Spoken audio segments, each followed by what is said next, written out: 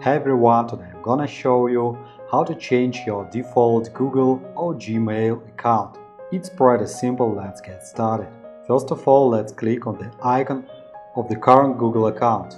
If you don't see the word default next to another account, then the current account is default.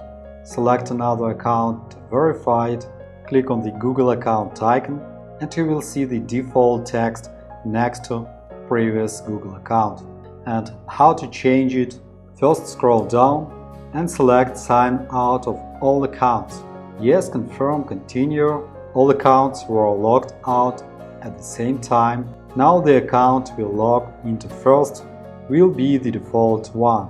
Let's add another account a first account, add the password, click on next, not now, and we log into a new default account. Let's check it, sign in another account, click on next, enter the password.